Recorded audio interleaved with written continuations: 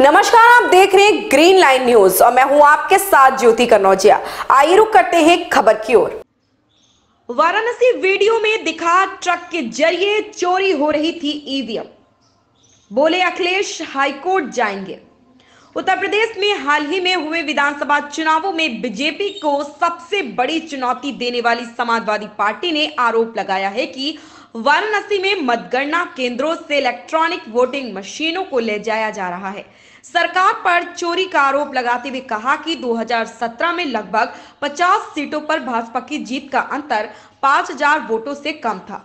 हालाँकि वाराणसी के जिला मजिस्ट्रेट ने कहा कि ईवीएम का इस्तेमाल प्रशिक्षण के लिए किया जा रहा था और वे मतदान में इस्तेमाल नहीं की गई थी। इसको लेकर डीएम ने पूरा ब्यौरा देते हुए आरोपों का खंडन किया।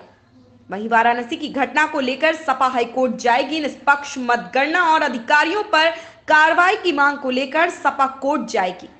सपा इलाहाबाद हाईकोर्ट की लखनऊ बेंच में पिटीशन फ़ाइल करेगी। कुछ राजनीतिक दलों पर अफवाह फैलाने का आरोप लगाते हुए जिला मजिस्ट्रेट कौशल राज शर्मा ने कहा कि चुनावों में इस्तेमाल की गई सभी ईवीएम सीआरपीएफ के कब्जे वाले स्ट्रांग रूम में सील कर दी गई है।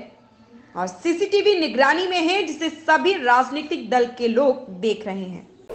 ऐसे ही खबर से जुड़े रहने के लिए आप देखते रहिए green line news Ranchi Oxford public school का ब्रांच गढ़वा शहर नारायणपुर टंडवा में खोला गया है। प्री नर्सरी से क्लास सिक्स तक नामांकन प्रारंभ है, जहाँ बच्चों के लिए डिजिटल व AC classroom hi tech computer, lab एवं बस की सुविधा उपलब्ध है। Nine zero three one four seven four seven five zero पर संपर्क करें। MGM hospital and research centre Ayushman Bharat मुख्यमंत्री जन आरोग्य योजना के तहत मुफ़्त इलाज एवं ऑपरेशन की सुविधा उपलब्ध है। लाल और पीला राशन कार्ड के हकदार होंगे। आयुष्मान योजना की हकदार प्रति परिवार पाँच लाख रुपए तक का प्रति वर्ष मुफ़्त स्वास्थ्य लाभ विशेष जानकारी के लिए संपर्क करें। MGM hospital and research centre Nawada मोड़, दुर्गा मंडप के सामने, गढ़वा, झारखंड।